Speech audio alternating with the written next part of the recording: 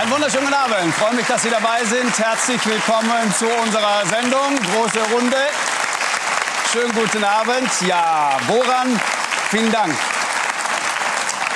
Ja, woran merkt man, dass gerade Revolution ist? Antwort an Milli Vanilli. Sie war gerade elf Jahre alt und lebte in Dresden, als die Mauer fiel. Doch erst als Girl I'm Gonna Miss You plötzlich im DDR-Fernsehen lief, da wusste sie, jetzt ist was Großes passiert. Als später herauskam, dass die beiden Sänger gar nicht gesungen hatten, sagte sie den schönen Satz, meine erste große Enttäuschung mit dem Westen. Vielleicht liegt es also an Milli Vanilli, dass sie den Laden Deutschland so dermaßen aufmischen will. Bedingungsloses Grundeinkommen für alle, 75 Prozent Steuern für Millionäre. Und wir sagen dann, Girl, I'm gonna miss my 20-Euro-Schein. Herzlich willkommen also der Parteichefin der Linken, Katja Kipping. Schön, dass Sie bei uns sind. Ja, er sagt, er sagt, er sagt über das Wahlprogramm der Linken, Zitat, das ist nicht für denkende Menschen gemacht, das ist eine Schnapsidee. Was ihn besonders aufregt, ist die Idee, jedem Deutschen 1000 Euro zu geben, ohne dafür arbeiten zu müssen. Zitat, ich bin nicht der Meinung, dass sich mittlerweile alle deutschen Wähler abgemeldet haben für das Dschungelcamp und so naiv sind zu glauben, dass sowas bezahlt werden kann. Herzlich willkommen also dem Wirtschafts- und Börsenexperten Dr. Friedhelm Busch. Schön, dass Sie bei uns sind.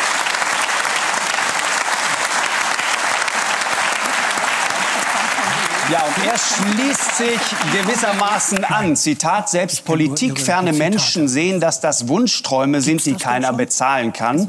Er ist politischer Kabarettist und kann gut nachvollziehen, dass eine gewisse Politikverdrossenheit um sich greift. Er selbst hat jahrelang in der Wahlkabine auf den Wahlzettel einen zusätzlichen schönen Kreis gemalt und dahinter geschrieben, nein, danke, mir gefällt nichts. Herzlich willkommen also Horst Roth. Schön, dass Sie bei uns sind. Ja. Eigentlich gar nicht lustig. Ist eigentlich traurig. Ja, und äh, selbiger Horst Schroth hat hier bei uns in der Sendung äh, mal erzählt, dass der schlimmste Horror für Männer in der Tat Beziehungsgespräche sind und darauf hingewiesen, gewiesen, dass der typische Einleitungssatz für solche Beziehungsgespräche häufig lautet, Schatz, findest du mich eigentlich dick? Wie man als Mann darauf zu reagieren hat, wird er uns gleich erzählen. Er nähert sich der Thematik gerade mit einem sehr, sehr starken Theaterstück, Tag der Gnade, in dem ein Mann plötzlich die Chance auf ein neues Leben mit seiner Geliebten hat. Er selbst weiß mittlerweile, wie ein Mann zu sein hat. Zitat, ich habe ziemlich spät begriffen, dass Männer gar nicht gut aussehen müssen. Die können auch eine Glatze haben. Hauptsache, in der Hose ist was los. Herzlich willkommen also dem großartigen Schauspieler Herbert Knauf. Nein? Ja, vielleicht. Vielleicht, ne?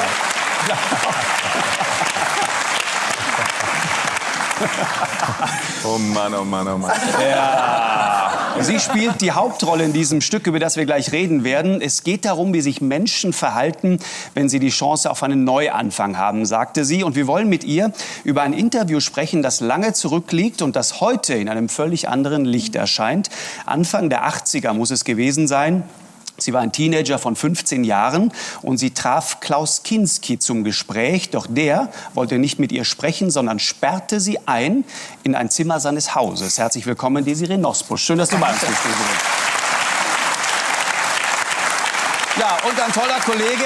Er ist mittlerweile das Gesicht bei den Kollegen von Vox. Erst gestern waren ja Mrs. Greenbird bei uns zu Gast, siegreich aus seiner Show hervorgegangen. Was aber kaum einer weiß, er hat als Schauspieler angefangen, unter anderem in preisverdächtigen Meisterwerken wie Pop dich schlank oder auch Zwei Engel für Amor und auch in einem wunderbaren Rosamunde Pilcher Film mit dem für einen Pilcher Film, wie ich finde, sehr ungewöhnlichen Titel Sieg der Liebe. Ja. Jetzt arbeitet er mit Martin Rütter und das Ergebnis ist ein großer Spaß. Herzlich willkommen, Jochen Schraub. Schön, dass du bei uns bist.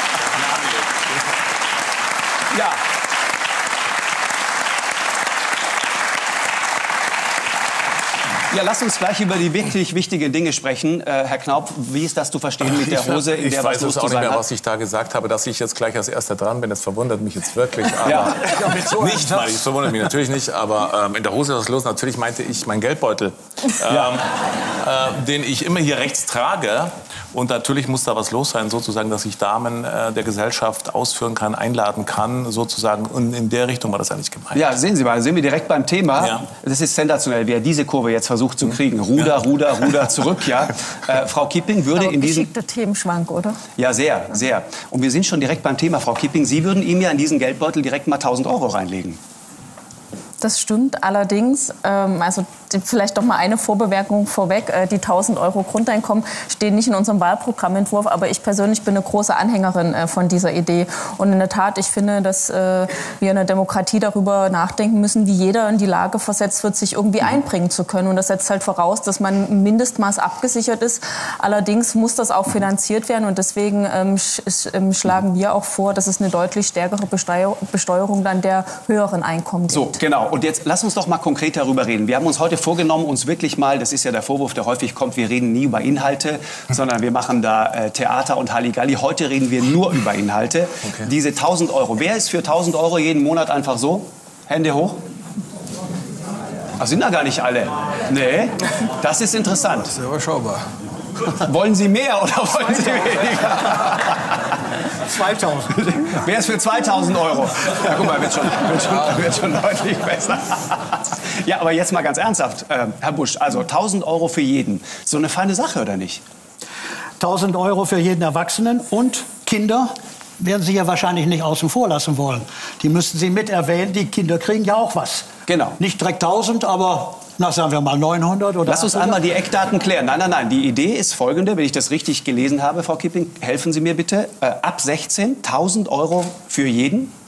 Genau. Der also arbeitet Und, aber, oder? Nein, der nicht. Nee, nee. Also ist egal, was der macht. egal. Bedingungslos, ja. Bedingungslos. Bedingungslos und, und, und bei, bis 16. Und bei, bei Kindern, also da bin ich gegenwärtig erstmal für eine, äh, für eine Kindergrundsicherung. Und bei Kindern muss Wo man in liegt der die? Tat. Wo äh, liegt die? Es gibt momentan ein Bündnis von GEW bis Kinderschutzbund, die sagen schon heute, wäre es sinnvoll für jedes Kind eine Kindergrundsicherung von 500 Euro im Monat. Und vor allen Dingen aber bei Kindern, glaube ich, muss man mehr über ähm, öffentliche Infrastruktur, dass jedes Kind einen Okay. Kita-Platz zur Verfügung Aber lass uns hat. mal einen 500 Spielplatz kriegen in der. Nähe. Genau. Aber lass uns einmal kurz bei diesem Thema bleiben. Also Kinder von, also von Geburt an bis 16 500 Euro. Sie wollen bestimmt auf die Finanzierung hinaus? Nein, nein, nein, nein. ich will erst mal Ach so, wissen, Sie wie die Idee ist. Das ist ja eigentlich eine spannende Idee. Und äh, ehrlich gesagt wäre es... Und es Äh, ist natürlich, das muss man dazu sagen, das ist ein Kulturbruch. Weil viele denken, was denn, wer, wer arbeitet dann? ja, Und äh, die spannende ja, Sache die, ist Die ja, Frage ist, ist es ein Kulturbruch oder ist es eine reine Provokation? Sowas zu fordern. Aber mich interessiert, äh, haben Sie mal ausgerechnet, was es kostet? ja natürlich. Die gesamte Summe, kennen Sie die? Ja. Monatlich. Ja, ja, natürlich. Es gibt, ähm, es gibt dazu Finanzierungsmodelle und man muss ungefähr sagen, dass man 40 Prozent vom Bruttoinlandsprodukt ähm, neu umverteilen Also die sollte. Summe.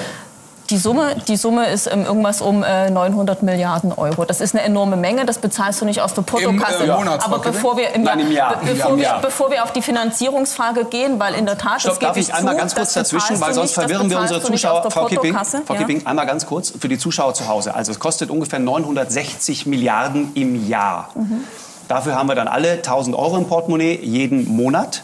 Das Problem ist, Deutschland nimmt im Jahr nur knapp 600 Milliarden an Steuern überhaupt ein.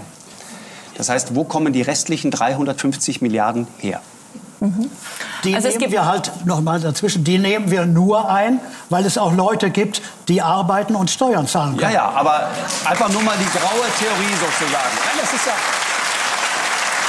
Wir haben ja in dieser Sendung schon häufiger schon häufiger über diese Idee gesprochen, weil das eigentlich eine schöne Idee ist. Und es ist ja auch nicht so, dass äh, alle ähm, auch ernstzunehmende, äh, zum Beispiel Wirtschaftsweise und äh, Theoretiker sagen, das ist alles Schwachsinn, sondern darüber könnte man mal nachdenken. Aber trotzdem die Frage, woher kommt der Rest der Kohle? In dem Finanzierungsmodell, was ich gut finde, gibt es folgende Finanzierungssäulen. Eine Säule ist, es gibt heute äh, jede Menge Geld, die in, ähm, sozusagen in Hartz IV fließt, ähm, auch in Sozialdetektive fließt. Das ist Geld, was man einsparen könnte und direkt ähm, darin einfließen lassen könnte. Die Aber Sozialdetektive Zent- kosten ja nicht Milliarden, Frau Kipping, Die, ne? die zweite, und das ist die zentrale Finanzierungssäule, wäre eine zusätzliche ähm, ähm, Grundeinkommensabgabe ähm, von 35 Prozent auf jeden ähm, Euro, den man netto, also auf, ähm, auf die sozusagen Einkommenssteuer obendrauf. Das hätte eine Verteilung, also man muss Moment, sich das von jeden. darf ich das kurz zu Ende jeden. ausführen? Nur ganz das kurz, hätte, Frau das hätte Kipping. die Nein, nein, nein, zum Verständnis. Nee, wir, müssen, wir wollen Ihnen folgen, Frau Kipping. Ja, natürlich. 35 Prozent für jeden. Genau, das hätte folgende Verteilungswirkung im, im Ergebnis. Jeder bekommt 1000 Euro und ab einem gewissen Einkommen gibt es ja dann auch die, die stärkere Besteuerung. Man kann sagen, das reichste Drittel der Bevölkerung würde zur Kasse gezogen werden. Das fängt so ab dem Einkommen Bundestagsabgeordneten an. Die Ja, machen Miese gerade bei sagen, diesem Modell. Ähm, Sie sind dann dran. Die mittleren, genau, die mittleren. Manchmal ist man halt auch richtig selbstlos als Politikerin. Ähm, Ja. Und, die mittleren, und die mittleren zwei Drittel äh, wären deutlich äh, sichergestellt beziehungsweise besser gestellt als Okay. heute, als es heute der Fall ist. Ähm, und eine dritte Finanzierungsquelle noch zu nennen. Es gibt ja in der Volkswirtschaft so eine Faustregel, wo man sagt, von jedem Euro, den ähm, Haushalte mit niedrigem bis mittleren Einkommen mehr bekommen, landen ungefähr 33 Cent Mhm. sowieso wieder im Staatshaushalt, weil Menschen mit einem niedrigeren Einkommen, die geben das auch wieder aus, das kurbelt die Wirtschaft an, da fällt dann wieder Umsatzsteuer an etc. Aber Also diese Gelder brauchen wir auch für die Politiker, diese Gelder brauchen wir auch für die Bildung, diese Gelder die brauchen wir auch für die so Straße. viel. Ja, nicht so viel, aber Okay. überall brauchen wir Geld. Aber ich finde, ich finde, Sie wollen doch ich nicht finde, den Staat bevor man, ich abschalten. finde, ich finde, bevor man, nein, natürlich nicht. Bevor man über die Finanzierungsfrage hat, muss man überhaupt erst mal die Frage stellen, warum futtere ich das, was ja offensichtlich für viele eine Provokation ist. Und in den letzten Jahren ist die Schere zwischen Arm und Reich in diesem Land immer weiter auseinandergegangen. Das hat ein Maß angenommen, was ich finde, was nicht mehr hinnehmbar ist. Und wo man auch nicht mehr sagen kann, das Einkommen begründet sich aus Leistung. Wer heutzutage in einem DAX 30 Unternehmen Vorstand sitzt, der bekommt im Jahr durchschnittlich drei Millionen. Und glauben Sie wirklich, dass das auf purer Leistung basiert? Oder jemand, der einfach ein paar Schuldpapiere kauft und weiterverkauft, geht am Jahresende mit Millionen nach Hause? Kann mir doch niemand sagen, dass der so viel mehr leistet als eine Friseurin, die mit 4 Euro Stunden Ja, aber wenn wir, so über, wenn wir über die Leistung reden. Wenn wir über die Leistung reden, dann frage ich mich natürlich, wenn man als Paar 2000 Euro zusammen hat, welche Leistungen möchte man denn dann überhaupt noch erbringen? Es gibt doch bestimmt äh, Pärchen, die mit 2000 Euro mehr als glücklich sind und mehr Geld dann hätten, als sie vielleicht jetzt haben, wenn sie einen Job haben. In die Politik gehen die dann. Nee, aber wirklich. Also in der ich meine, Tat fände ich es gut, wenn sich in der Tat fände ich es gut, wenn mehr Menschen dann auch Zeit haben, sich Aber in die Jochen Politik hat ja- einzubringen, weil ich in der Demokratie, Kipping, Demokratie nicht den Frau Kipping. Berufspolitikerinnen überlassen möchte. Frau Kipping, ein Wähler hat Sie gerade Ja. gefragt. Also, er fragte gerade, wo soll denn der Sagen wir mal, ein potenzieller Wähler soll sich ja niemand outen, wen er Na, er, er wählt auf jeden Fall. Er wählt nicht zwangsläufig Sie, aber er wählt auf jeden Fall. Also ein Wähler fragt gerade, wie soll das denn funktionieren? Wo soll denn der Leistungsanreiz sein für Menschen, morgens noch aufzustehen, wenn die Kohle auch so kommt? Das ist eine ganz spannende Frage. Und man kann sich ja, man kann ja erst mal bei sich selber anfangen, ehe man über die anderen redet. Würde man selber, was würde mit einem selber passieren, wenn man 1000 Euro im Monat bekommt? Würden Sie mit Ihrer Arbeit aufhören, die zu machen? Nein, also ich, ich liebe meine Arbeit. Ich muss sagen, ich hatte, äh, wie wahrscheinlich viele Schauspieler oder äh, generell äh, Künstler, ja, ähm, hatte ich natürlich auch schwere Zeiten. Und ich muss sagen, die Zeiten, wo ich nicht wusste, wo das Geld herkommt, haben mich auch stärker gemacht. Also die haben mich demütiger gemacht, die haben mich neugierig gemacht. Ich habe Respekt davor bekommen, was ich tue.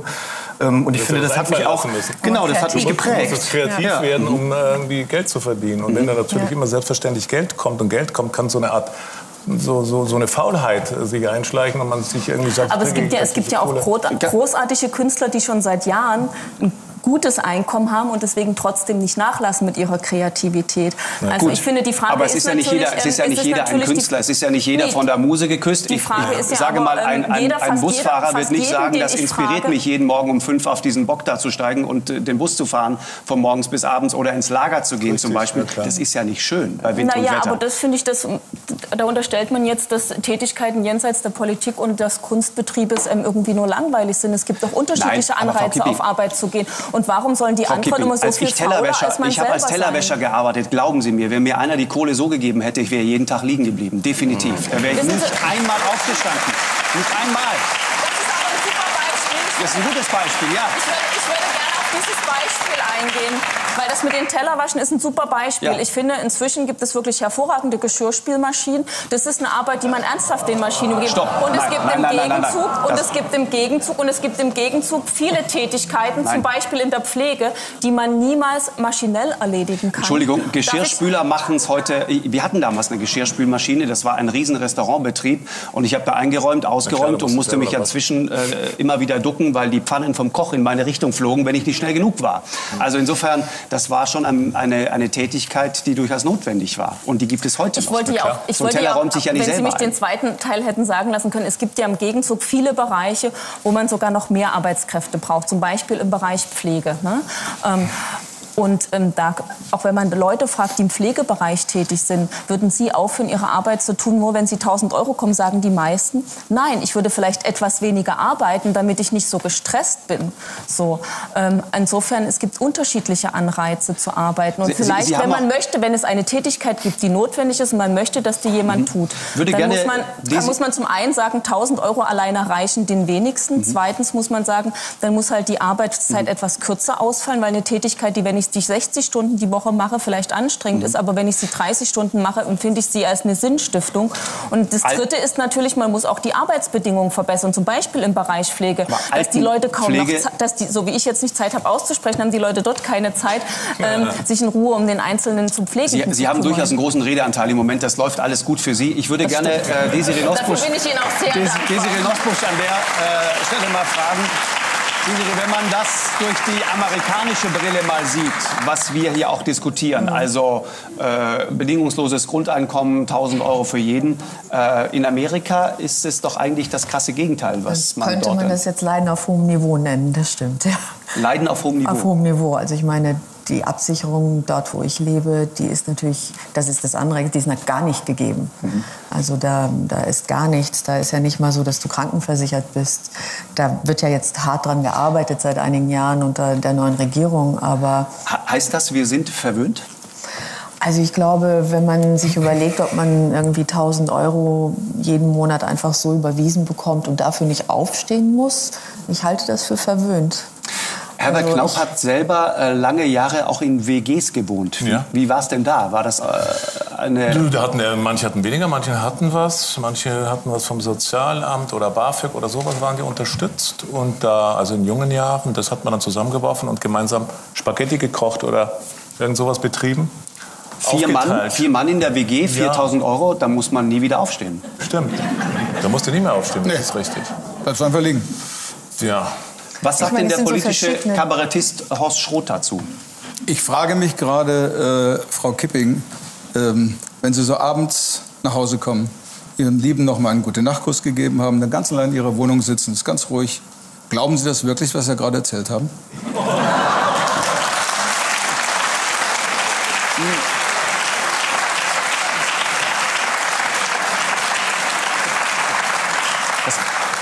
Erstens, ich habe eine kleine Tochter, leider ist es auch abends nicht immer wirklich ruhig. Ähm, aber zweitens, ähm, wissen Sie, wir wissen ja, niemand von uns kann genau sagen, was passiert in einer Gesellschaft, wo es ein Grundeinkommen gibt. Wir erleben jetzt aber das komplette Gegenteil von dem Grundeinkommen, Hartz IV. Und ich habe in meiner Arbeit immer wieder mit den Auswirkungen davon zu tun gehabt. Und ich sehe, wozu Sanktionen führen in was für eine Existenznot Menschen kommen. Ich sehe, dass wenn es eine mhm. Regel gibt, die Leuten halt dazu zwingt, ähm, Arbeit anzunehmen, denen sie vielleicht überhaupt nicht klarkommen, was das auch für Krankheit verursachen kann. Und ich sehe vor allen Dingen auch, was mit der Welt der Arbeit passiert. Weil wir haben ja heute das Problem, dass dieses Damoklesschwert, wenn du deinen Job verlierst, fällst du in Hartz IV und damit in ein System, wo du wirklich auch Schikane im ausgesetzt bist.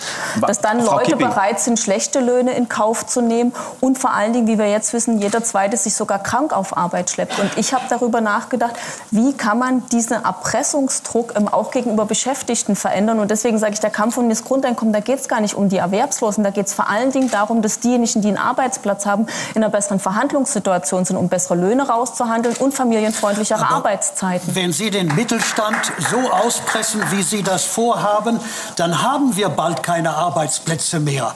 Denn der Mittelstand denn, ist es, Mittelstand? der Mittelstand ist es, das sind diese Millionäre, die dann ja nur an Kaviar und an sowas denken.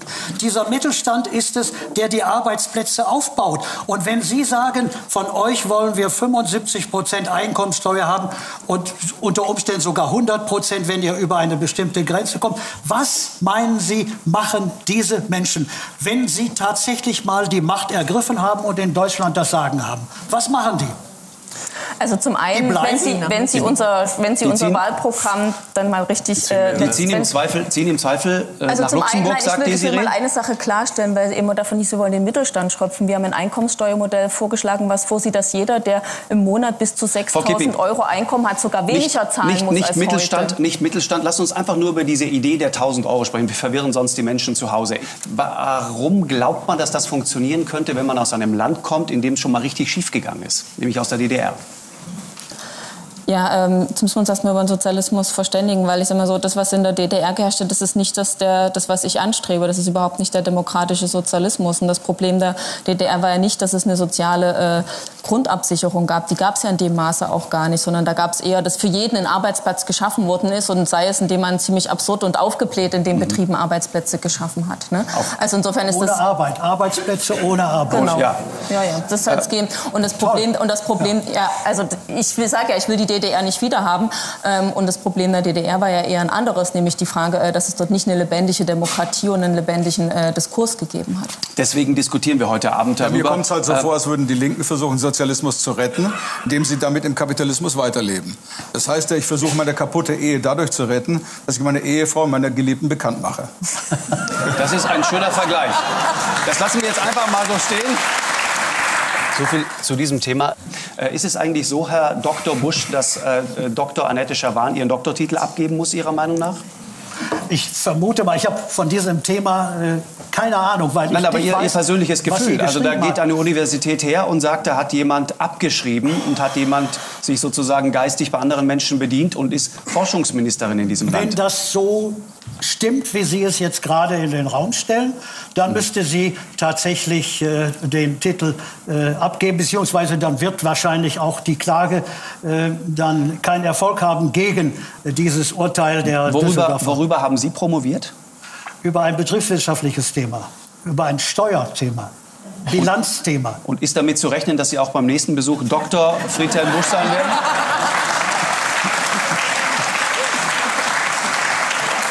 will es hoffen. Ich will es hoffen. Aber, das klingt nicht sehr überzeugend, Herr Busch, muss man sagen. Ich bekomme weder wegen meines Titels von Ihnen auch nur ein Euro mehr Honorar, äh, noch werden wir im äh, täglichen Leben. Das war keine Antwort auf meine Frage, Herr Busch, aber wir lassen das jetzt einfach mal so stehen und, und nehmen also, das zur Kenntnis. Lesen Sie meine Arbeit und wenn Sie sie dann verstanden haben, dann. Äh sehr schön. Sehr schön. Ja. Ich wusste es, irgendwann fährt er ganz schweres Geschütz ja. auf, das war mir klar. Frau Kipping, muss äh, Dr. Annette Schawan zurücktreten, ja oder nein? Naja, ich finde, sie ist jetzt also sie ist bis heute im Ausland und man sollte jetzt auch mal die Zeit lassen, noch diesen im Ausland, diesen Auslands, den Aufenthalt da zu Ende zu bringen, zurückzukommen, sich mit Frau Merkel zu beraten. Und ich nehme mal an, dass auch Angela Merkel weiß, dass Frau Schawan zwar eine sehr beliebte Politikerin ist, auch zu Recht beliebt, aber dass es halt schon nicht haltbar ist, wenn eine Bildungsministerin. Aber das ist interessant, dass Sie jetzt nicht einfach sagen, ja, die muss zurücktreten. Es fällt ohnehin auf, dass anders als im Fall Guttenberg, wo alle sehr schnell und laut gesagt haben, jawohl, das geht so gar nicht, sich jetzt jetzt alle auffällig zurückhalten und sagen, muss man mal abwarten. Ja, weil keiner weiß, was sie genau falsch gemacht hat. Das wusste doch bei Gutenberg auch keiner. Oh. Naja, also ich glaube, der, ich glaube, alles der nach Fall, und nach langsam na, raus. Der Fall, der Fall ist schon. Da wusste man auch so. Der Fall ist schon ein bisschen anders, weil es bei erstens noch mal 30 Jahre zurückliegt. Und ich finde, es ist in der Tat was. Mhm. Das ist eine zentrale Entscheidung. Und wenn eine Ministerin noch im Ausland ist, dort gerade auch einen Dienstauftrag hat, finde ich, es muss auch in der Politik mal ein menschliches Maß geben, wo man sich Zeit lässt für eine Entscheidung. Weil Politik, wo du quasi im Sekundentakt entscheiden musst, ich glaube nicht, dass das gut ist für die Qualität von Entscheidungen. Und auch wenn ich politisch viel Dissens zu ihr habe, finde ich, muss es so ein Maß von Fairness und Umgang geben. Das ist noch mal ein ganz anderes Thema, haben Sie recht. Aber wird natürlich nicht nicht so gelegt. Bitte? Wann fängt das überhaupt an, so eine Ideenklau? Wann fängt Ideenklau an? Ideenklau an? Zurecht. Ich, ich mache eine Einleitung, ich mache den Schluss. Im Mittelteil lasse ich mir so ein bisschen was einfallen. Und ich setze aber alle Fußnoten an. Ich schreibe alle Fußnoten genau, genau, genau, genau auf. Schreibe alles ab, werde ich dann Doktor. Also bei der Raterfindung, dass man grundsätzlich sagt, das ist ja, alles im... Eine der, neue Entdeckung gemacht. Alle, der, ja, man ist doch, das ist doch eigentlich im Raum, die Gedanken sind im Raum. Ob ja, alles ist schon mal gesagt worden. Frau Kipping hole, ist alles schon mal gesagt worden. Ob ja, ich jetzt von klar. der Frau Kipping was hole oder aus mir selber raus. Wenn ich es aber mit Fußnoten ansetze... Ich habe heute Morgen das, das, Fachblatt für ähm, Doktorarbeiten gelesen, also die Bildzeitung. Mhm.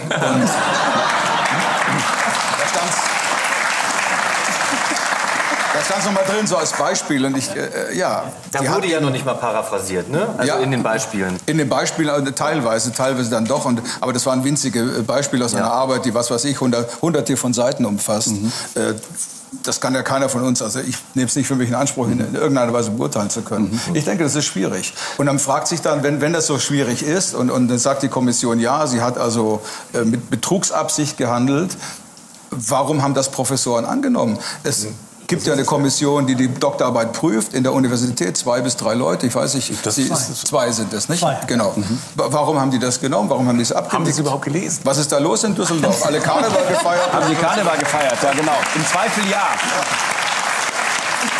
Also ich glaube auch, dass vor allem die Düsseldorfer Universität blamiert ja. dasteht. Absolut. Die haben, also Schawan kann ich nicht beurteilen, aber was die Düsseldorfer sich da leisten, ist ein Skandal. Wie lange haben Sie gebraucht für Ihre Doktorarbeit? Das ist eine unfaire Frage. Ich stelle sie trotzdem.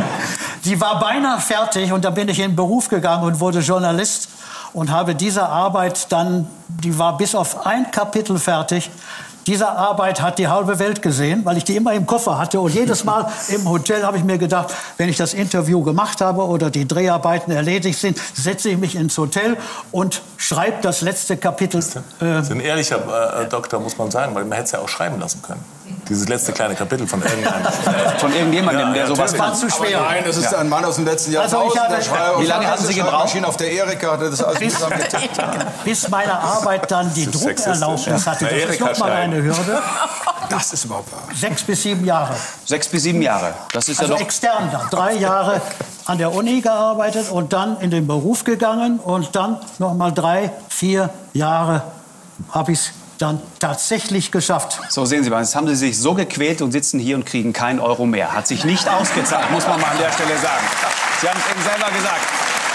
Horst Schroth, ich habe gerade mir vorgestellt, als du so beschrieben hast, dass du morgens dieses Fachblatt für Doktorarbeiten also liest. Jetzt uns, ja, äh, ja, wir, ja, ja lass, lass, uns duzen. Haben wir letztes Mal auch gemacht. Haben wir letztes Mal ja. schon gemacht, fiel mir nämlich vorhin ein. Und du sitzt dann da mit deiner Frau und ja. die sitzt auf der anderen Seite und du hast die Zeitung so vor der Nase. Wie muss ich mir das vorstellen? So? Ja, Zeitungen. Ja, nee, ich habe es nicht vor der Nase. Ich lege sie, wir haben einen großen Tisch und dann lege ich die Zeitung so aus. Wann habt ihr das halt letzte Mal miteinander gesprochen?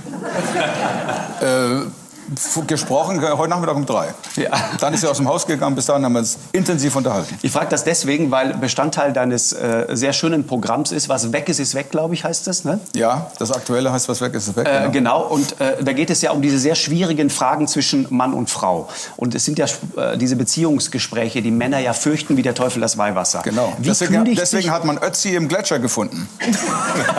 Angst vor Beziehungsgesprächen. Abgehauen. Lieber im Eis erfrieren, als ein Beziehungsgespräch aushalten. Wie, wie kündigt sich denn so ein Beziehungsgespräch üblicherweise an? Naja, die Frauen äh, stellen uns also Fragen, die bauen uns Abseitsfallen auf. Die, Männer, die Frauen wissen, Männer hassen Beziehungsgespräche.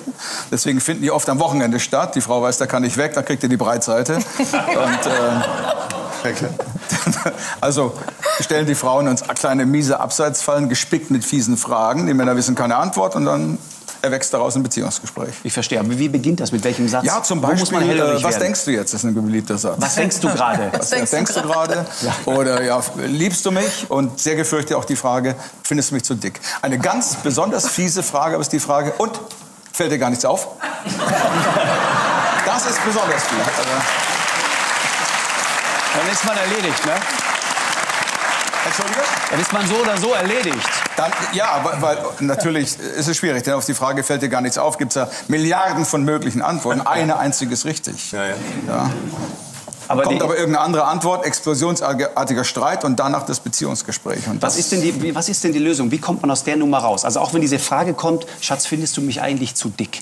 Ja, da antwortet man immer nein, das ist ganz klar. Absolut nein. Egal, nicht eiern sagen, dick verglichen mit wem oder so. Gut. Ja, verstehe. Nicht direkt dick, aber dünn bist auch nicht gerade. So soll man nicht sagen. Ja. Nein, nein.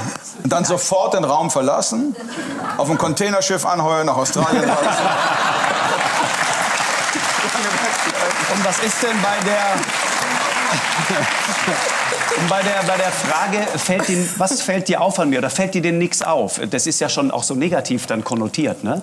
Ja, fällt dir gar nichts Man, man könnte ja fragen, Ja, ja, fällt dir ist- eigentlich was auf an mir? Nein. Fällt dir denn überhaupt nichts auf Ja, die an meinen mir? ja Ist dann alles, das Universum fällt mir was auf. Der, der Mann kommt nach Hause, äh, möglicherweise sieht in der Tür und fragt, als erstes fällt er gar nichts auf. Und er weiß nicht, was er sagen soll. Und er weiß nur eines, er müsste eigentlich sofort mit dem tödlichen Herzkasper auf der Fußmatte zusammenbrechen, tot im Krankenwagen abgefahren werden. Das wäre die einzige Chance, lebend aus der Nummer rauszukommen.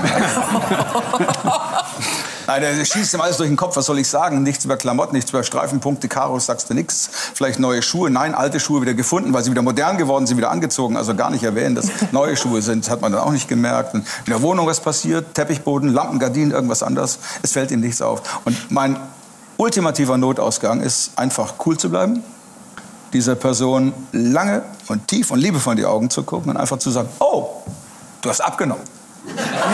Das ist sehr gut, ja. Yes. Herbert, Herbert lachte. Das, Herbert, das ist eine geniale Antwort, aber geht nur ein einziges Mal. Das muss man, das muss man wissen. Das ist richtig. Herbert, wie machst du das? Boah, schwierig. Ja, ich kann, also, ja. Wir haben natürlich auch so einen Liebeskampf zu Hause, einen tagtäglichen, aber ich bin noch nicht Wie ernsthaft jetzt? Ja, ja, im Positiven natürlich. Man, man, man, äh, man reibt sich ja, das hält ja auch äh, frisch und jung. Und äh, das Gründen des Weibes äh, der Frau ist ja wirklich äh, ein, ein, ein Lebenswerk, würde ich schon sagen. Da haben wir keine Chance, Herbert. Ja, eben. Nein, Keine, keine- keine, keine Chance. Sie sind einfach intelligenter. Von, von Ihnen gibt es ja den. Eine hohe soziale Intelligenz. Emotionale und soziale Intelligenz. Ja, emotional, soziale und dann meistens auch noch doch wirklich, äh, ja, wir haben andere Möglichkeiten manchmal, aber Das sind die Multitasking. Multitasking, das, Das ist doch das, das Wort. berühme Multitasking. Ja, alles gleichzeitig. Dieses gleichzeitig die Möglichkeit. Und alles perfekt und alles Ja, gut und alles schnell. eben. Schnell. Wahnsinn. Aber das ist doch ein Gerücht, oder? Wie? Ihr seid Dass das so ist. Ja, das ist ja, ich denke, das ist vielleicht auch eine Behauptung. Das kann natürlich sein, aber du kannst es wirklich nicht nachprüfen, weil die wirklich, ähm, ja, dich dann letztendlich doch überzeugen. Möglicherweise. Aber dieser Beziehungskampf, äh, von, von dem Sie sprechen, ist das, ist das so ein, wie, wie muss man sich das vorstellen? Also liebevolle Debatte und dann am ja, Ende wieder. und dann reibt sich manchmal auch und dann, ja, ich kann jetzt nicht so in Details gehen, da gibt's ja, da geht der Liebeskampf ja weiter, also so richtig, nein, äh, das mache ich jetzt nicht. Aber ich wollte nur sagen, dass es eben nicht langweilig ist. Wa- Was darf man denn machen? Was muss man auf jeden Fall vermeiden? Das kann ich Ihnen nicht beantworten, wirklich. Ähm, letztendlich ähm, dann irgendwann ähm, auf die Frau zugehen, letztendlich. Nicht stur bleiben und auf seine Sache beharren, sondern versuchen, äh, es zu verbinden. Dann doch, Sind, ja. sind Sie dann so ein Schweiger, der dann tagelang Nein, überhaupt nicht spricht? Nein, nein, nein. Also diese ganze Bestrafaktion, das mache ich nicht. Nein. Wir, wir, es gibt auf jeden Fall jeden äh, Tag eine Lösung. Selbst beim heftigsten Streit, sagen wir mal so, gibt es am Abend eine Aussprache, damit man ähm, den Tag äh, freudig überlebt hat. Ein guter Handwerksmeister, der bei uns arbeitet gelegentlich, sagt immer, bei mir ist wieder Zettelwirtschaft. Damit meint er, man schreibt sich nur noch Zettel gegenseitig. Oh, Tagelang Zettelwirtschaft. Ich habe mir mal gefragt, wie das geht. Ja, Zettelwirtschaft. das ist aber hart. Das wird noch Das nicht per, das ich, wird das noch nicht per SMS geregelt? Nein, die machen das richtig mit Zetteln, offensichtlich auf Papier, ja. Macht es aber auch nicht besser, wenn man sich aus der Küche ins Schlafzimmer simst und sagt, Schatz, schläfst du schon? Ja, Auch nicht gut, oder? Schwierig. Finde ich, würde ich auch nicht machen. kann ich nicht empfehlen. Ne? Ähm, ihr beiden spielt gerade äh, sozusagen oder macht gemeinsam Theater. Ja, ja, richtig. Titel des Stückes? Der Tag der Gnade. Genau, Tag der Gnade. Tag der Und Gnade. der, der, der, der Handlungsstrang ist hochinteressant oder das, worum es da geht. Ähm, Einmal kurze Inhaltsangabe.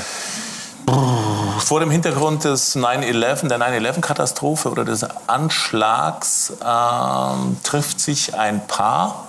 Sie ist Unternehmerin einer, einer was, was, man weiß nicht genau, was es großen Firma, ja, Management- Man- Management. Äh, und er ist äh, letztendlich angestellt bei ihr. Es ist eine Affäre und äh, letztendlich der junge Mann müsste eigentlich im Turm gewesen sein, müsste eigentlich äh, tot sein. Und permanent geht sein Telefon, weil er fremd gegangen ist. Oder fremd geht seit Also Jahren. die Affäre hat ihm das Leben gerettet, weil er war Leben bei gerettet, ihr. Also die, die Geschichte ist sozusagen, er und seine Geliebte arbeiten in diesem Turm. Nein. Genau. Also Die Geliebte arbeitet außerhalb des Turms. Er ist gerade bei ihr, als der Turm zusammenbricht. Genau, So müsste aber im Turm sein. Und seine Frau sein. glaubt, genau, er müsste in diesem Turm sein und hält ihn für verschüttet. Ja, Genau. verschüttet oder nicht mehr lebendig. Das Telefon geht noch, sie ruft ihn permanent an.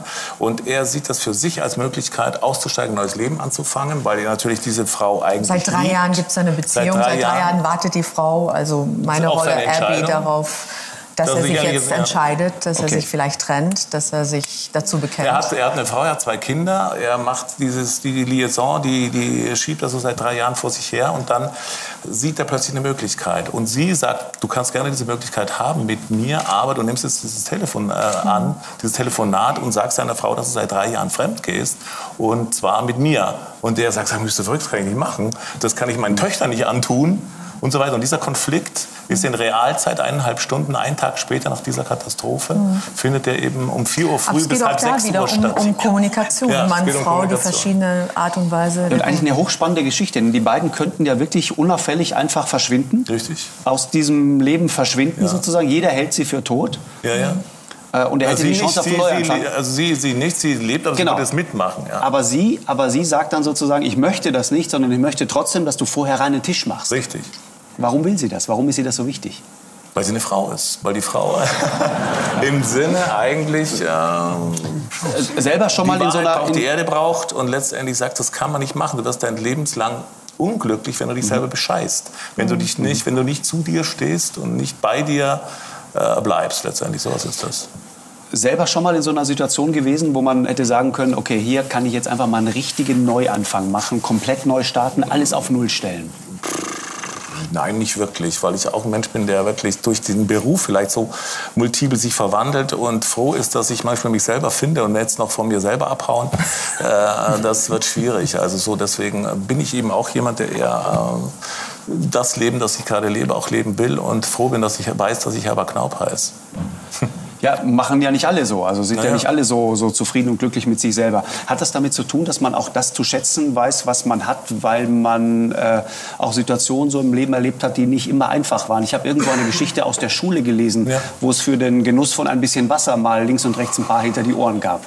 Beim Schönschreiben, ja, ja, das war eine so Demütigung. In der, ich bin ja noch so aufgewachsen, da war man in der Schule, da gab es dann noch die, die, die Prügelstrafe. Also bei uns wurde noch der Turnlehrer, der, der hat dann nach dir getreten, wenn du nicht schnell genug gelaufen bist oder meinen Fuß gestellt oder sowas. Und dann gab es Schönschreiben, das war eigentlich diese Sütterlin-Schrift. Genau. Musstest du dann noch schreiben lernen. Das hieß Schönschreiben bei uns. Und dann war ich eben noch in der Klasse, hatte damals auch eine Brille auf, das weiß ich noch. Und da ging so eine Feldflasche rum. Und da war so, ein, da so eine Kappe dran an so einer Kette. Und die, immer wenn die sich umdrehte, die Schönschreiblehrerin, die auch letztendlich attraktiv noch war und äh, auch roten Lippenstift hatte und auch nicht wusste, warum sie jetzt endlich da dazu verurteilt wurde, jetzt schönschreiben, den, den, das war so eine abgehalftete Deutschlehrerin, glaube ich. Auf jeden Fall drehte die sich um, schrieb immer und immer, wenn die sich umdrehte, trank die, tranken die einzelnen Schüler. Und war mein, ich an der Reihe und habe vergessen, diese Kappe festzuhalten. Und ich trank und es machte so klack. Die drehte sich um, sah mich, wie ich dieses, äh, die Flasche da ansetzte und trank. Da war natürlich kein Alkohol drin, es war irgendwie Wasser oder sowas. Oder, oder ein, ein Saft, ein Getränk. Und kam auf mich zu, sagte aufstehen, Brille runter und so. Volle Pulle vor der ganzen Klasse, eine mega Ohrfeige und ich äh, wusste dann gar nicht mehr, was ich machen sollte. Also es war natürlich die größte äh, eine der größten Demütigungen meines Lebens, vor so einer Klasse als, als Vollidiot dazustehen und dann noch von einer Frau auch noch geprügelt zu also Wie alt warst du da? Naja, da war ich vielleicht zwölf oder dreizehn. Ja. Sowas. So in der Pubertät dann auch. Folgenlos absolut folgenlos. Nein, ich habe auch gar nicht folgenlos. Nein, da bist du auch, da kamst gar nicht auf die Idee, also ich nicht nach Hause zu gehen und zu sagen, heute wird er mir mal eine runtergehauen oder so. Heute wäre das natürlich. Wie hat, denn, wie hat denn Vater, Mutter, wie haben die denn reagiert?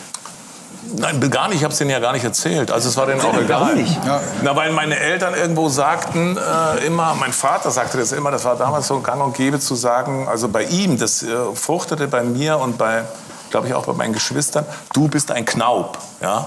Und dadurch überlegte man, was heißt das? Naja, so heißt du und deswegen wird dir im Leben nie was passieren, weil du ein Knaub bist.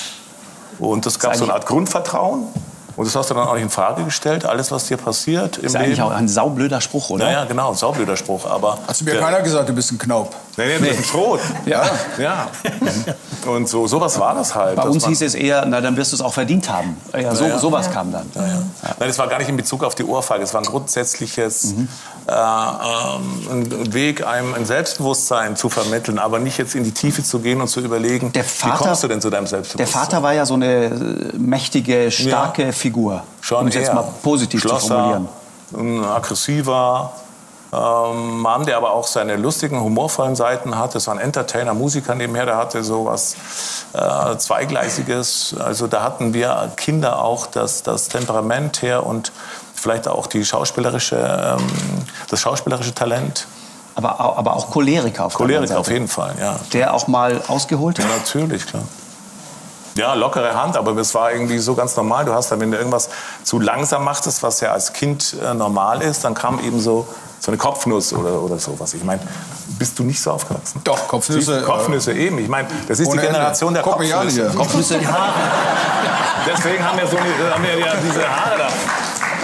Nein, Kopfnüsse, Aber es, es, geht ja weniger um die Kopfnuss oder um die Ohrfeige, ja. es geht ja um den Akt der Demütigung. Ja, ja, so das ist, ist das. das Heute würde man sagen, es geht gar nicht. Du Schlag kannst, ins Gesicht. Ja, Schlag ins Gesicht, das ist ja... Das ist ja, ja aber es war, hat er völlig recht, das war damals äh, absolut üblich in den Schulen, in der Grundschule mhm. auf jeden Fall. Mhm. Bei uns gab es ein langes Lineal, ja, manche Lineal Lehrer haben dazu gelangt. Nicht meine Grundschullehrerin, die in den ersten zwei Klassen, die war Reizen, die hieß auch noch Fräulein von Reizenstein, will ich nie vergessen. die erste Liebe meines Lebens, die fand ich ganz in der, zweiten, in der zweiten Klasse? Erste und zweite Klasse.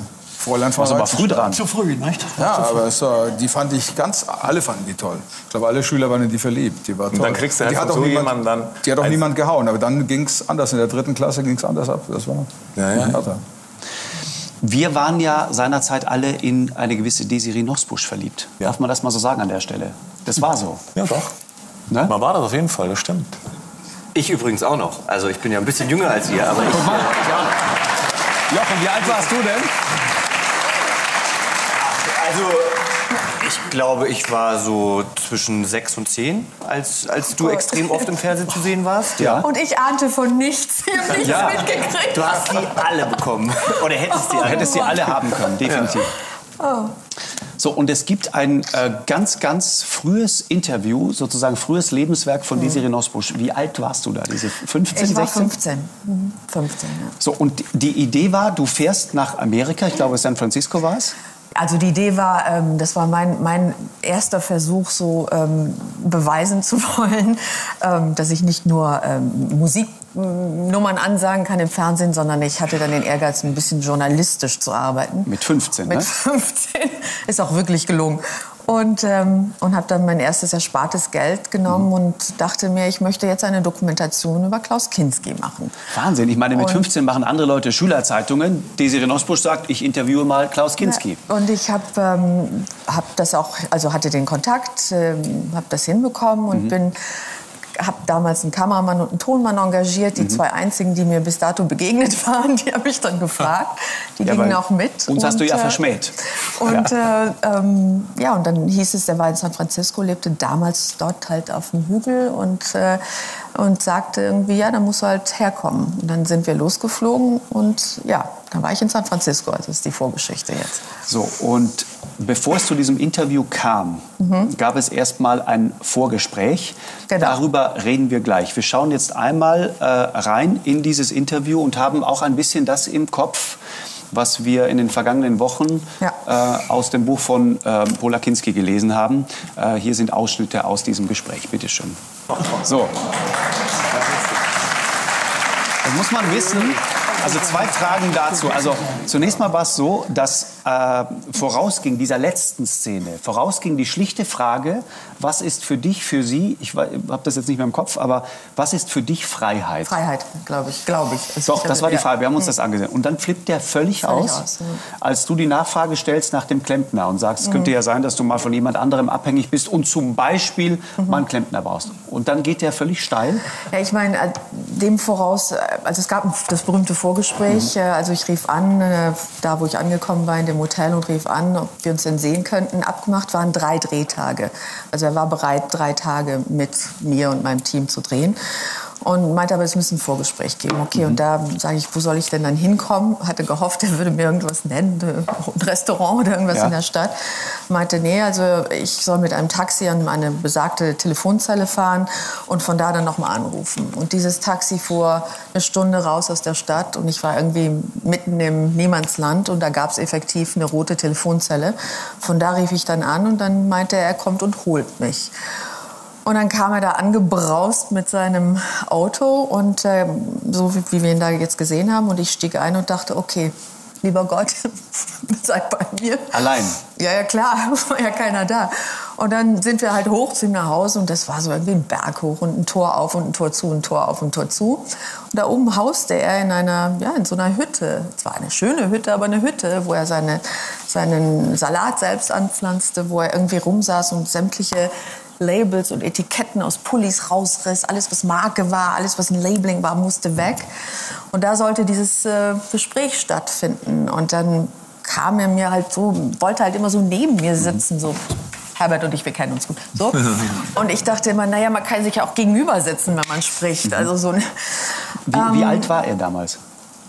Oh Gott, wenn du mich jetzt so fragst, wüsste ich. So an, an die 60, oder? Könnte ich schätzen, sowas, oder? Mehr, an die 60 ungefähr. Mehr, wüsste ich es jetzt mhm. gar nicht mehr. Und jünger muss, es jünger muss er gewesen sein. Also wenn nicht, ja, so, ja. Anfang 50, 50 sowas. Ja. Mhm. Tut mir leid, weiß ich jetzt wirklich nicht mehr. Habe ich verdrängt. Ja. Und ähm, naja, irgendwie, also er hat dann schon dieses Machtding aus, versucht auszuüben, dass ich jetzt da abhängig war. Hat er dich wirklich bedrängt? Also er hat mich schon, ich, also ja, er hat mich schon bedrängt. Nur ich war irgendwie, ich glaube, Gott sei Dank war ich stark genug oder bestimmt genug, ähm, Stopp zu sagen. Einfach zu sagen, hier ist meine Grenze und weißt du was und darüber hinaus, dann kannst du auch, du musst auch mit mir nicht drehen und ich fahre auch mit meinem Team und meinem Geld, was ich dann nicht mehr habe, nach Hause. Mit 15, und dann hat er mich ne? an, eingesperrt. Ja, dann hat er mich in der Hütte eingesperrt und haut da ab, meint, er müsste was besorgen und hatte aber so einen großen Schäferhund vor der Tür. Und ich dachte, verdammt, was mache ich denn jetzt? Damals gab es auch keine Handys und nichts. Ja, dann bin ich hinten den Balkon runter. Ähm, ich hatte irgendwann mal beschlossen, dass ich das nie erzählen würde. Aber ich glaube, im Zuge dessen, was man jetzt so gelesen hat, weiß ich auch nicht. Jetzt erzähle ich es halt mal. Naja, es ist deswegen interessant, weil und tatsächlich vieles von dem, was man jetzt so sieht ja. und wo man früher mal gesagt hat, naja, das ist einfach ein genialer, ein mhm. halb wahnsinniger und eben mhm. halb genialer äh, Schauspieler und Künstler, erscheint natürlich jetzt in einem völlig anderen natürlich. Äh, und als wir dieses Material hier gefunden haben, war eben auch die Frage, wie kam es zu diesem Interview? Ja, ja. Und jetzt kommt diese Geschichte dabei heraus. Ja gut, dann bin ich dann irgendwie hinten über den Balkon runter, mich noch richtig verletzt und bin dann diesen im Dunkeln, da war es dann schon abends spät, bin dann im Dunkeln irgendwie diesen Hügel runter und bei jedem Lichtstrahl, den ich sah, dachte ich immer, vielleicht kommt er zurück, habe mich halt geduckt, habe es zu dieser Telefonzelle wieder geschafft, Stunden später und äh, kriegte dann auch ein Taxi vor zurück in mein Hotel. Wie lange hast du da oben gewartet in diesem Haus? Ich würde jetzt mal sagen zwei Stunden, bis ich mich dann getraut habe zu sagen, okay, dann soll mich jetzt der Hund auffressen, dann ist es halt so. Und, da hat man ähm, panische Angst mit 15 Jahren. Ja, ich glaube, da gibt es alleine weit ja, weg von zu Hause. Also, ja, es wäre jetzt, wär jetzt gelogen. Vorher sagen, hat er dich bedrängt, draußen wartet der Hund. Was, was heißt denn bedrängt überhaupt? Na, einfach irgendwie, na, und hast du Angst vor mir? Und na, halt so irgendwie. Unangenehm. Mhm. Unangenehm einfach. Und ähm, ähm, ich habe es dann zurückgeschafft zu meinem Team, habe gesagt, Leute, es gibt keinen Dreh. Also tut mir leid, wir machen uns jetzt noch zwei schöne Tage in San Francisco und dann fahren wir nach Hause. Und äh, dann kam ein Anruf in dem Hotel und er meinte, ah, hast du wohl Angst gekriegt, wa? Bist doch nicht so mutig, wie du dachtest. Und ich dachte, du, sag mir jetzt nur, willst du drehen, willst du nicht drehen und wir können das Ganze vergessen. Und dann meinte er, morgen da und da, vier Stunden hast du mit mir und keine Minute länger. Und alles, was wir jetzt gesehen haben, die Ausschnitte, das war alles innerhalb vier Stunden, habe ich halt alles, was ich kriegen konnte, mit ihm gedreht. Mhm wo er mich dann andauernd nur beschimpft hat, wie dumm ich bin. Und, ähm, und ist abgebraust, ist sogar noch mit dem Mikro, mit dem Anstecker abgebraust, in sein Auto rein, weg war. Das muss ich dann auch noch zahlen, das Mikro. Und, ähm, und dann bin ich, dann dachte ich mir, aber ich hatte so ein authentisches Material, fand ich. Also ja. ich dachte, er hat, er hat sich dazu entschieden, sich so darzustellen. Und das hat man mir dann vier Jahre lang nicht abgekauft. Also ich blieb auf dem Material sitzen, keiner wollte das senden, weil es und äh, also in der Zwischenzeit mit 19 hatte ich dann den Grand Prix gemacht und mhm. dann hatte ich dann einen netten Anzug an und war ein bisschen anerkannt. Und dann hat man mir das dann so nebenbei noch so, durf, durfte es dann mal gesendet werden. Aber vier eine, Jahre lang lag es Eine rum. Frage noch dazu. Also die erste Szene, die wir gesehen haben, äh, da, da liegt er auf deinem Schoß. Ja, ja, klar. Wie kam es denn dazu? Na, da hat er sich einfach hingelegt. Also, da saß man in der Wiese. Und ich war natürlich an dem Punkt, irgendwann war ich dann schon so, ich dachte, okay, wenn er denn jetzt da liegen will, Hauptsache er redet jetzt und antwortet, dann lass ihn halt da liegen. So. Aber ich dachte immer, er stellt sich ja da. Ich mhm. meine, also also ich möchte jetzt nicht hier sitzen und sagen, er hat mir was angetan, das wäre gelogen. Nee, das meine ich gar nicht. Aber Darum geht es gar nicht. Aber da ist doch eine, definitiv eine, eine Grenze überschritten. Natürlich. Und da geht es um Macht. Da ist dieser berühmte, sagen wir mal, dieser unsichtbare Kreis, der ja. jeden Menschen umgibt, auch überschritten. Also wenn man Absolut. Menschen einfach wirklich zu nahe kommt ja. und das dann irgendwann so unangenehm wird. Ja. Und dann liegt er da plötzlich Also ich sage jetzt mal, Schoß. wenn meine Tochter, die ja jetzt so alt Beispiel. ist, wie ich damals war, war, wenn ich da dabei wäre, würde ich sagen, Entschuldigung, was machen Sie denn mit Ihrem Kopf im Schoß meiner Tochter? Natürlich, auf mhm. jeden Fall. Als du jetzt von den Vorwürfen seiner Tochter, von Pola Kinski, erfahren hast? Mhm. Ich habe es erfahren, weil ich im Flugzeug saß auf, auf dem Weg ähm, nach Europa und habe es gelesen.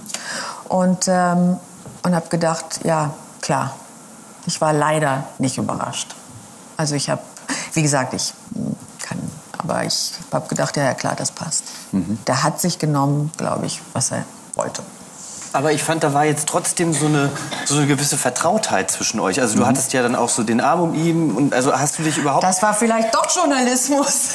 Klar, ja, aber hattest du überhaupt keine nicht. Angst mehr, weil dann eben dein Team dabei war? Da ich, also Angst hatte ich jetzt da natürlich nee. nicht mehr, weil da war, ähm, da war ja, wie gesagt, war ich ja dann nicht mehr alleine. Das, er hat dann noch meine Schuhe irgendwie ins Meer geschmissen. Ich muss dann so einen steinigen Weg Quatsch. noch barfuß zurück irgendwie runter. Also, also er hat da nichts ausgelassen. Ein, ja, da geht es um ein Spiel mit Macht. Aber das war ein Spiel mit Macht. Er wusste, ich war irgendwie abhängig. Ich hatte da mein Geld irgendwie halt drauf gesetzt. Na klar, es ist ja auch so ein bisschen klar, Verlegenheit natürlich. auch, wenn du dann irgend so jemand, da musst du dann irgendwie ja. umgehen, wenn da jemand bei dir so liegt, dann machst du halt auch mit. Ist, willst du ja nicht also prüde wirken so, oder Ja, es war sehr mutig. Ich als 15-Jährige, klar. Ja, oder naiv, ich weiß es nicht. Also naiv also mutig, auch, weiß ich nicht. Ich behaupte mal, wenn dabei. du nicht 15 Jahre gewesen wärst, dann wärst du schon am ersten Abend zunächst mal zur Polizei gegangen.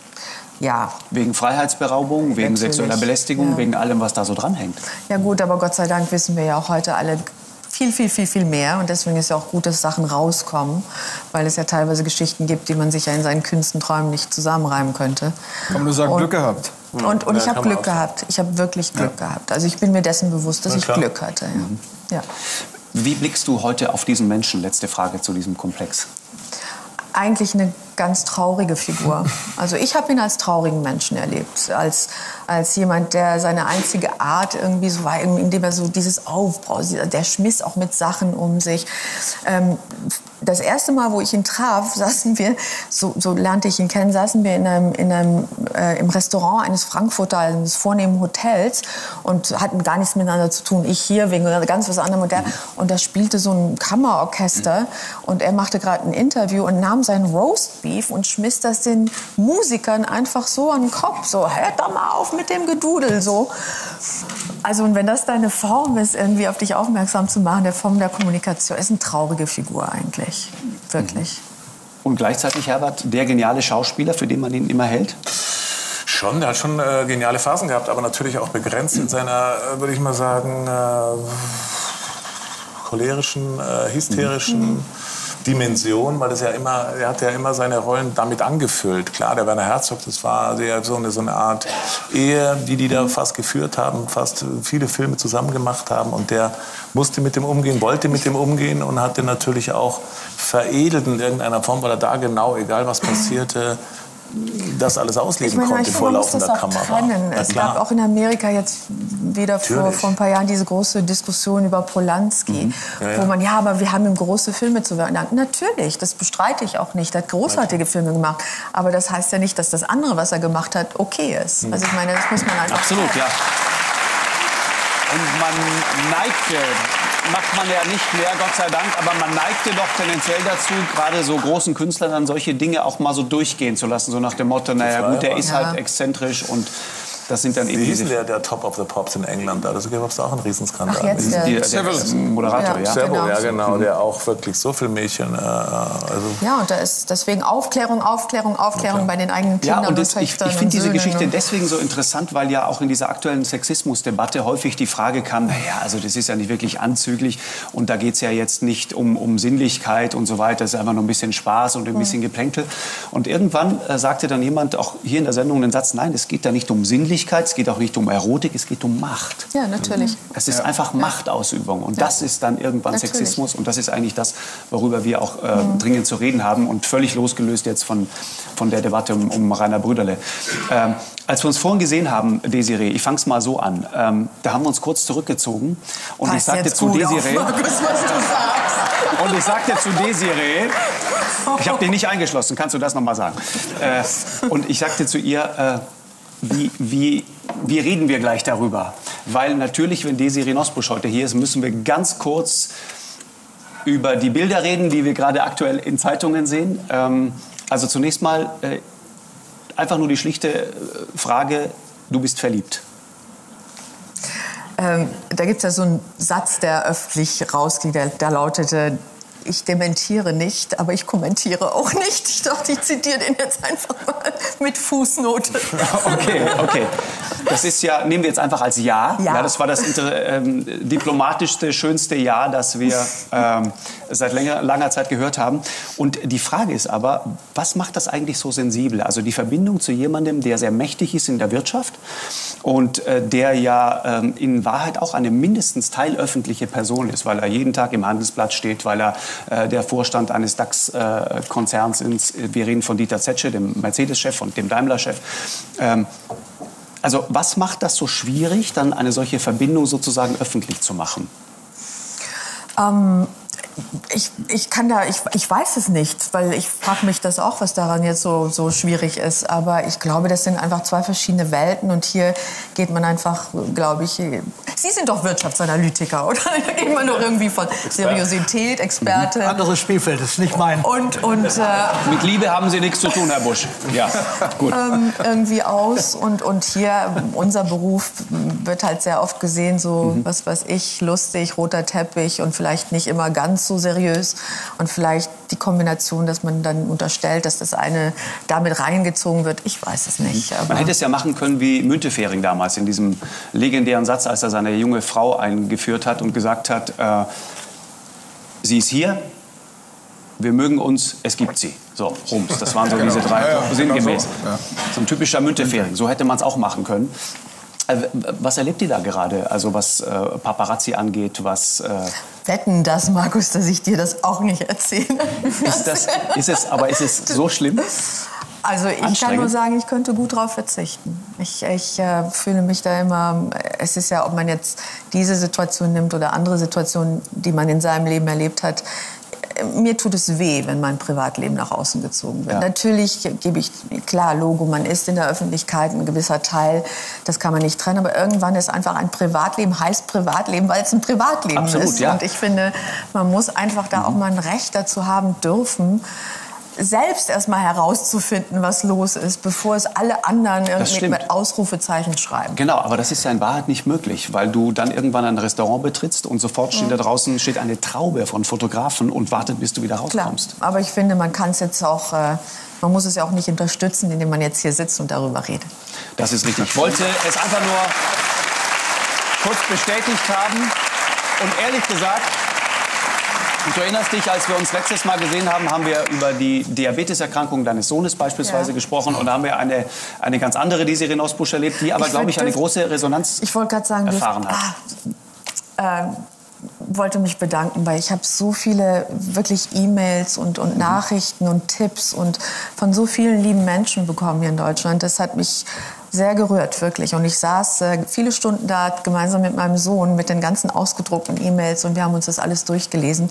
Ich habe mich noch nicht bei jedem bedankt dafür persönlich, aber war wirklich. Ähm, wir reden über deinen Sohn, äh, der an Diabetes Typ 1, typ 1 mhm. äh, erkrankt ist, kann im Grunde jeden treffen, von, ja. von einer Sekunde auf Leider die andere. erschreckende Zahlen gibt mhm. es, ja wichtiges Thema, aber immer noch ein Tabuthema, ähm, wie wir beim letzten Mal festgestellt ja. haben. Und offenbar ein sehr cooler Junge, der, das äh, ist mir hängen geblieben, beim Arzt dann sagte, Mama, wenn du immer gleich heulst, kommst du nächstes Mal nicht mehr mit. Ja, du bist mir, du bist mir keine Hilfe. Ja. Aber es geht ihm gut, ja? Ja, danke schön, ja, ja.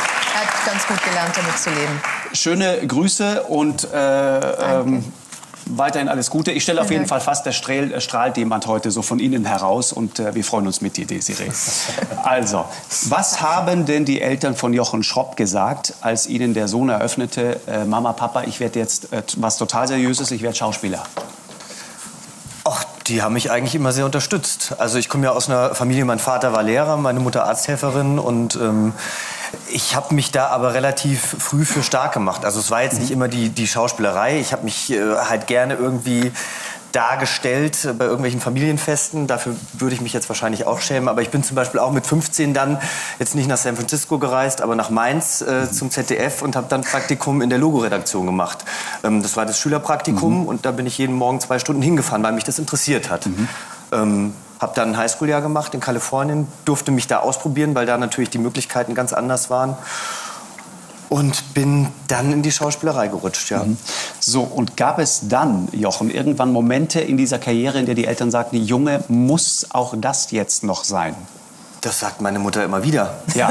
Also jedes Mal, wenn ich ihr ein neues Konzept vorstelle und sage, guck mal Mama, ich mache jetzt die Sendung, dann sagt sie, wie was, äh, noch eine Castingshow oder ähm, ja. eben, äh, mein Gott, ein Pilcher Jochen, muss weit, das sein. Jochen, so weit sind wir noch nicht. Wir sind noch bei der Schauspielerei. Okay, Entschuldigung, ja. Und in den Anfängen deiner Schauspielerei. Mir fällt da eine Szene ein, äh, Berlin, äh, eine Kreuzung, Kreuzberg, Pizzaauto. Hast du aber jetzt nicht da, ne? Bitte nicht.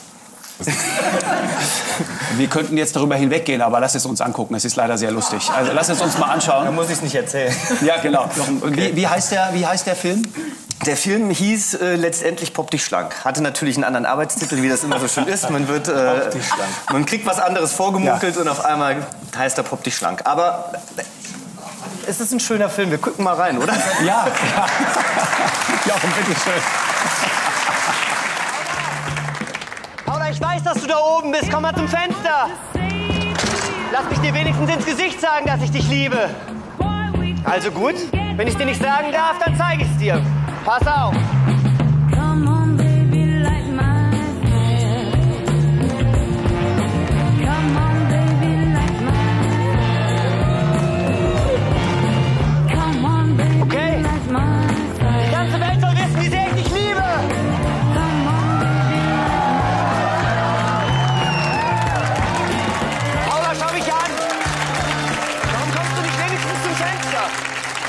Hier unten bin? Ja.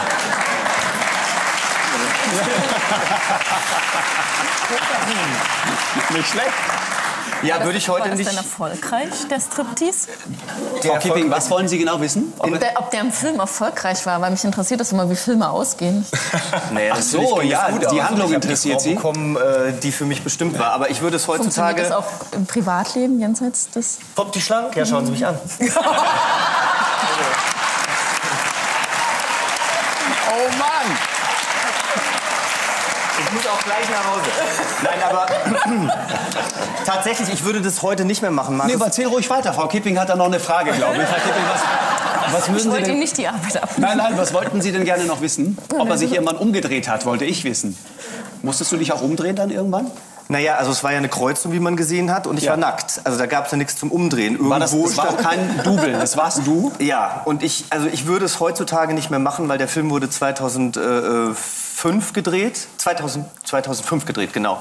Und, äh, oder 2004 sogar. Also da gab es noch keine Fotohandys und auch die Digitalkameras waren jetzt nicht so weit vorne. Ja. Ähm, insofern heutzutage an der Kreuzung äh, in Berlin. Und ich habe damals zu meinem Regisseur auch gesagt, dann bin ich ja so ganz nackt, können wir da nicht irgendwas faken? Und dann hat er gemeint, naja, weißt du noch, Red Hot Chili Peppers, zieh dir doch einen Socken über den Penis.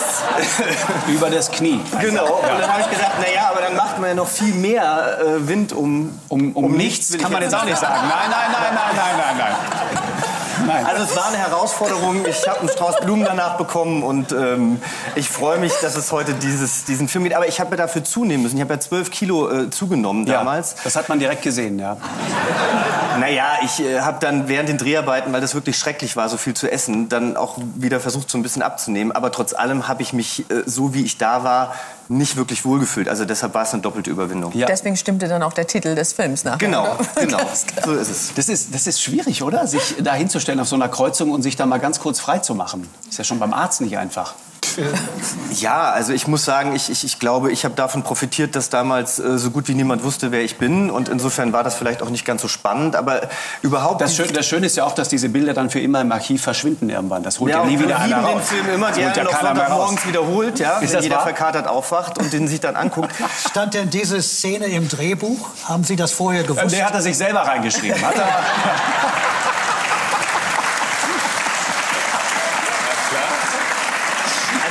es stand im Drehbuch und ähm, ich möchte jetzt auch nicht sagen, dass ich damals angesprochen hätte, wie ist das denn? Aber man denkt natürlich, na ja, ganz nackt muss man da bestimmt nicht sein. Aber meistens ist es ja immer umgedreht. Man, äh, ja, es, es, liest sich immer schlimmer und dann ist es nicht so schlimm. Gibst zu. Es stand im Drehbuch, er zieht seine Jacke aus und das war's. Genau und zeigt seinen Bauch. Aber viel schlimmer war für mich zum Beispiel damals, als ich dann so zugenommen hatte, ja. äh, habe ich einen Schauspielkollegen auf der Straße getroffen ähm, und abends rief mich eine Kollegin an und sagte, du, ich habe heute Patrick getroffen, der hat mich ganz aufgeregt angerufen, der hat gesagt, du bist total aufgedunsen und die Haare sind so wild und ich glaube, dir geht's nicht gut, hat er gesagt. Und ich hatte halt einfach nur zunehmen müssen für diesen Film und sah ja. halt nicht so aus wie sonst. Ja. ja. Äh, ist ja gar nicht weiter schlimm. Äh, und äh, ich, ich finde, wenn es einer tragen kann, dann du definitiv. Und ich bin neulich zusammengezuckt und fast vom Sofa gefallen, weil ich einen Rosamunde Pilcher-Film gesehen habe. Vor Hätte ich mir auch sofort vorstellen können, dass du das Zielpublikum bist. Ja, total. Ich gucke sowas wirklich gerne. Ich nehme mir die auf. Nein, Quatsch. Aber ab und zu mal gucke ich da so rein und äh, ja. sah dich dann. Ja. Im Rosamunde Pilcher-Film. Ja. Ja. Zahlen die gut oder? Naja, also ich glaube, äh, ich weiß nicht, du hattest sicherlich schon Schauspieler hier sitzen und dann ging es äh, ja, die über die Gagendebatte, die wir immer wieder haben ja. und äh, was wir verdienen. Und ich mhm. muss sagen, wenn man äh, für das ZDF einen Sonntagabendfilm drehen darf, dann ist man sehr glücklich, weil das ZDF ist auch sehr treu und die mhm. besetzen einen dann auch immer mal wieder. Also für mich war das damals mit Ende 20. Ich war zu alt für die Schüler und eigentlich zu jung, äh, ähm, um jetzt irgendwie einen Anwalt oder sowas zu spielen. Aber ja. bei Rosamunde Pilcher kann man eben dann auch Ende 20 sein und irgendwie erfolgreich. Und da hat das irgendwie funktioniert und da habe ich mich sehr drüber gefreut. Ja, ja das ist, du hast das sehr überzeugend gespielt, Frau Kipping. auch eine Alternative zum Tatort. Also ich meine, ich habe ja immer gerne, ja. ich immer gerne Tatort geschaut, aber in letzter Zeit geht es ja fast nur noch um Kinder, denen was zustößt. Und ich weiß nicht, seitdem ich Mutter bin, kann ich das nicht mehr sehen. Insofern, es braucht tatsächlich Sonntagabends noch irgendwelche anderen Absolut. Filme. Aber sonst schauen Sie eher Tatort und stellen sich vor, der Bösewicht ist der politische Gegner oder wie, wie muss man sich das vorstellen? Ja, leider geht es das ja selten um Wirtschaftskriminalität. aber bei Rosamunde Pilch ist auch selten jemand arbeitslos. Ja? Also da ist die Grundsicherung eigentlich immer gegeben. In der Tat. Ne? Und es ist auch die, äh, die, die Sonnensicherung immer gegeben. Ja, und die Häuser sind immer so groß, also die haben auch kein Problem mit explodierenden Mieten. Ne? Ja, es ist ja in England so, dass es eigentlich von morgens bis abends ja mehr oder weniger regnet. Aber ja, mit Filmen. einer Ausnahme, bei Rosamunde Pilcher nie. Warum scheint da immer die Sonne, Jochen?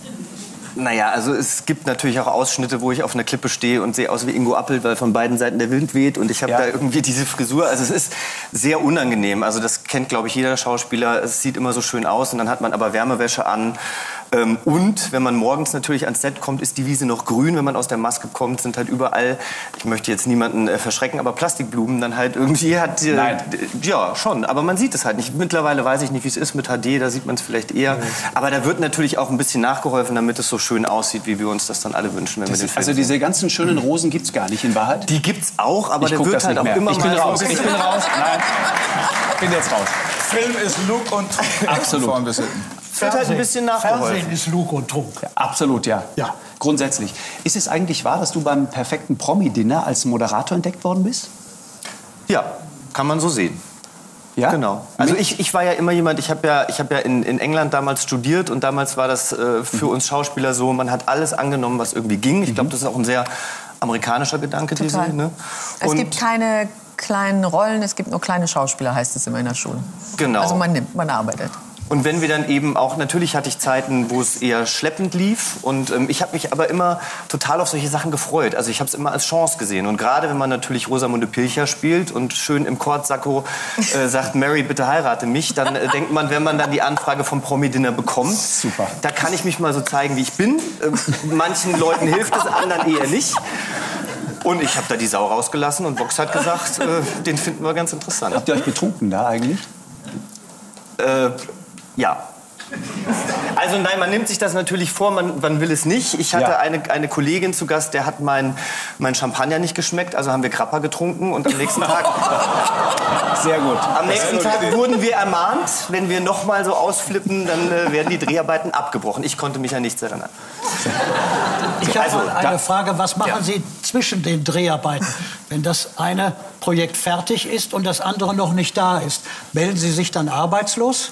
Ja, ich habe mich immer arbeitslos gemeldet. Also als ich eben noch hauptsächlich auf Lohnsteuerkarte gearbeitet habe, jetzt als Moderator ist man selbstständig.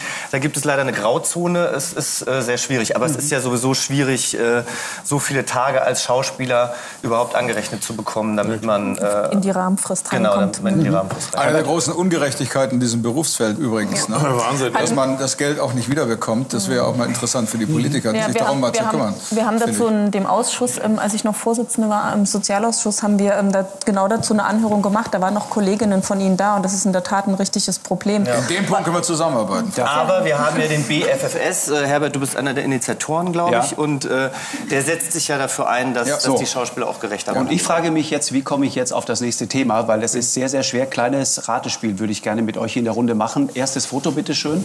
Was sehen wir auf diesem Bild? Ein Roboterhund? Jochen, bitte nichts, ne? Ich sage ein Roboterhund. Ein Roboterhund? Ich würde sagen, ja. Ein Roboterhund, Frau Kipping? Hörgerät, Nein, ich weiß nicht. Mm, ein Roboterhund. Ist ein das Teil, ist ein, ein teilsozialistischer Hund? Oder ein Gegenstand aus Shades, of, aus Shades of Grey irgendwie? Ein, ein Massagegerät. Massagegerät, sagt Desiree. Ja. Herbert? Der sieht erstmal wie so ein kleiner Pudel aus. Also ich würde auch sagen, Roboterhund weiß ich jetzt nicht.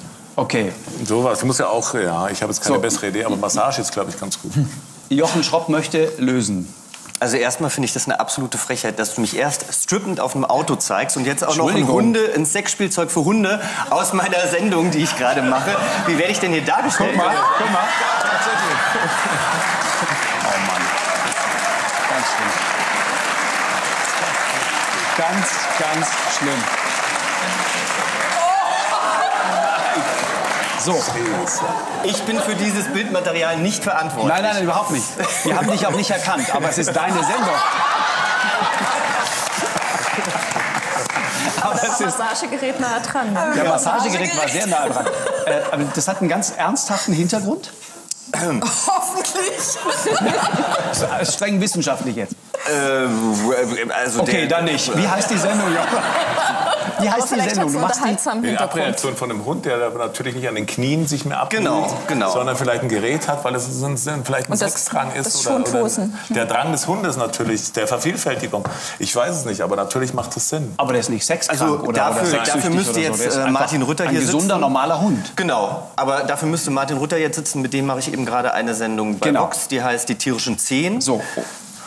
Du darfst ja nicht deine einmal, Filme zeigen, Pop dich schlank. Schauen wir einmal kurz rein. Ah, okay. Schauen wir einmal kurz rein. Äh, Dienstag 2015, aber wir schauen nur rein. Jochen, wenn du versprichst, dass du dieses Spielzeug nie ausprobierst. Zumindest okay. nicht öffentlich. So, bitteschön. Die Sexindustrie ist eine der wirtschaftsstärksten Branchen. Nur an die Hunde denkt mal wieder keiner.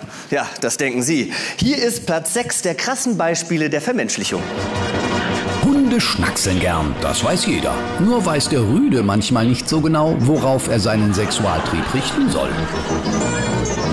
So ähnlich wie für Menschen gibt es inzwischen nämlich auch Erotikspielzeug für Vierbeiner.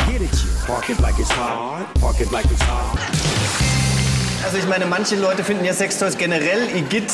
Ben, wie stehst du zu, zu Liebesspielzeug? Ich bin gerade beschäftigt, Jochen.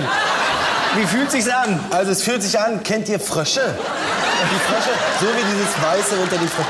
Na, die sind so weich und wenn man die, die Gummibärchenfrösche. Ja, wie die Gummibärchenfrösche, genau. Ja.